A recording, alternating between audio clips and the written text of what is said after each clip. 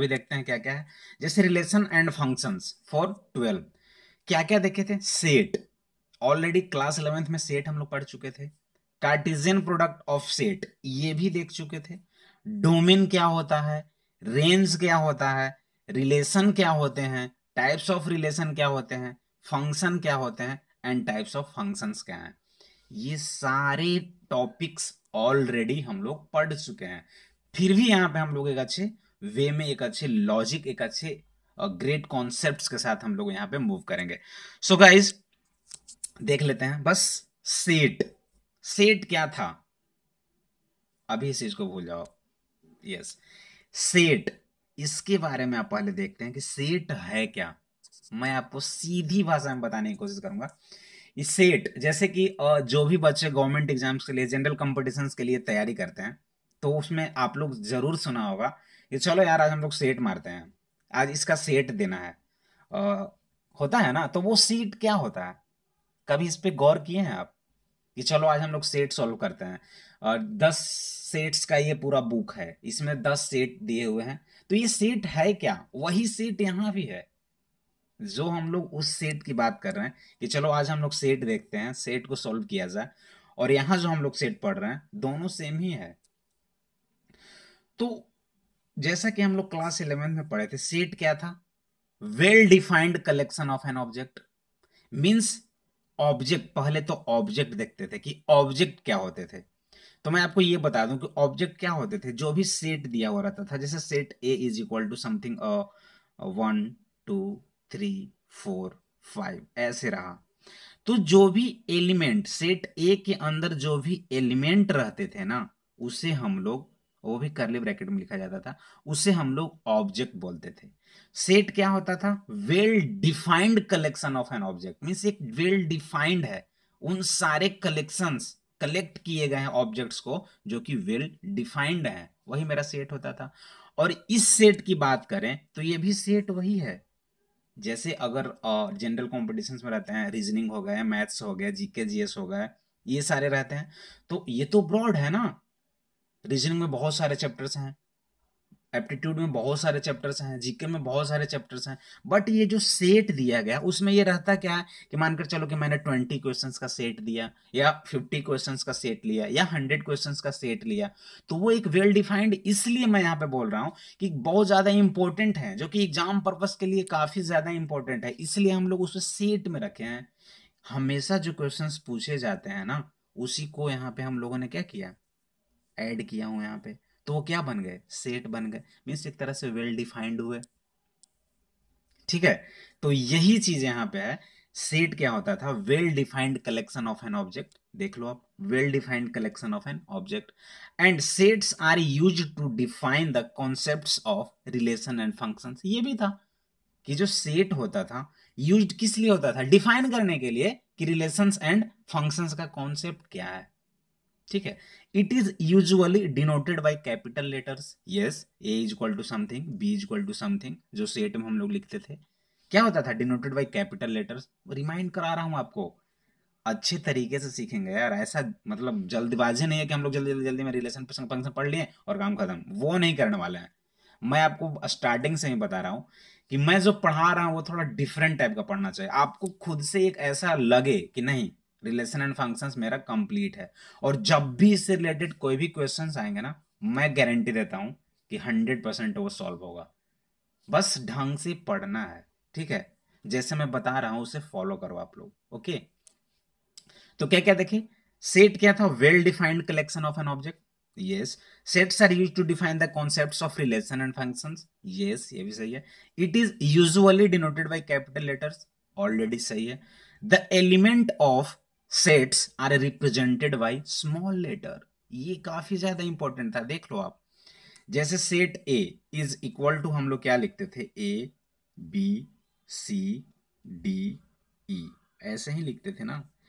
तो यहाँ पे क्या होता था?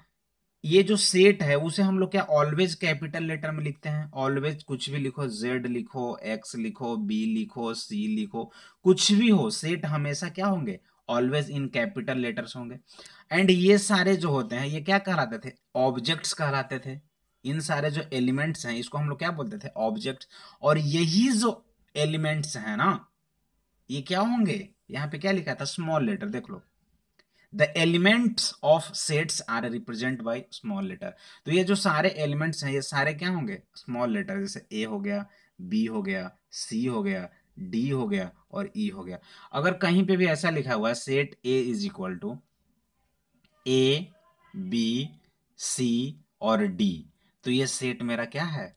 रॉन्ग है। ये नहीं हो सकता सेट क्यों? क्योंकि देखो, यहाँ स्मॉल है, यहाँ स्मॉल है, यहाँ स्मॉल है बट यहाँ पे क्या हो गया? कैपिटल हो गया। तो कैपिटल हो ही नहीं सकते। सारे एलिमेंट्स क्या होंगे? स्मॉल लेटर में रिप्रेजेंट होंगे। ठीक है? ये समझ में आ रहा है? सेट के अंदर जितने भी एलिमेंट्स होते हैं वो ऑलवेज स्मॉल लेटर में लिखे जाते हैं। ठीक है? तो ये इसका मीन था। उसके बाद क्या है? Every collection is not set but every set is a collection yes सारे कलेक्शन सेट नहीं हो सकते। बात को गौर से समझना। सारे के सारे कलेक्शन सेट नहीं हो सकते। लेकिन हाँ जो सेट है ना, वो तो कलेक्शन है। सारे सेट एक तरह से कलेक्शन है।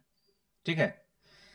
नेक्स्ट अब एक छोटा सा एग्जांपल देख लीजिए set of all natural number जिसे हम लोग एन से रिप्रेजेंट करते हैं। वो क्या होगा? One two three four five dot dot dot dot कहाँ तक? इन्फिनाइट तक जाएगा।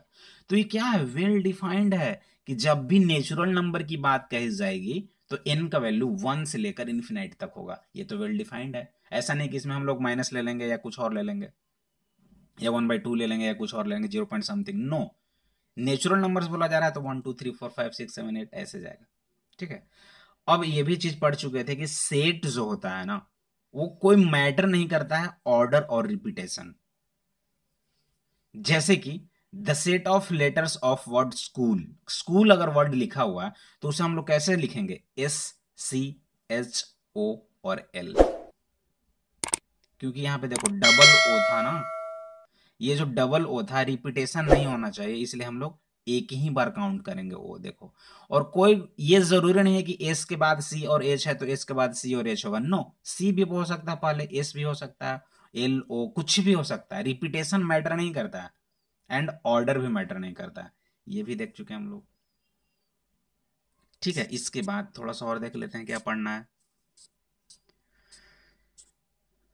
यस सेट जैसे कि सेट ए अगर दिया हुआ है guys five eight zero six three two A ये सारे एलिमेंट्स हैं सेट ए के। तो बिलोंग्स टू का तो कंडीशन हम लोग देख चुके थे कि जो भी एलिमेंट्स इसमें प्रेजेंट होंगे, अगर पूछा जाएगा फाइव बिलोंग्स टू ए तो हाँ फाइव ए सेट का एलिमेंट है ना तो ये ट्रू है। एट को हम लोग क्या बोल सकते हैं? Yes eight belongs to A ये भी सही है। ज़ीरो बिलोंग्स टू ए सही है। One belongs to A no one belongs to A ये क्या सही है? वन बिलोंग्स टू ए ये रॉन्ग है। कभी नहीं हो सकता, क्योंकि इसमें वन कहीं पे दिख रहा है आपको? नहीं। तो one belongs to A wrong है। बात को समझिएगा आप लोग। B belongs to A wrong ये भी रॉन्ग है। बी बिलोंग्स टू ए नहीं हो सकता। नाइन बिलोंग्स टू ए ये भी नहीं हो सकता। मीन्स इसको लिखने का तरीका क्या हो जाएगा? A belongs to A true है। One one belongs to A wrong है। लेकिन हाँ ये हम लोग बोल सकते हैं।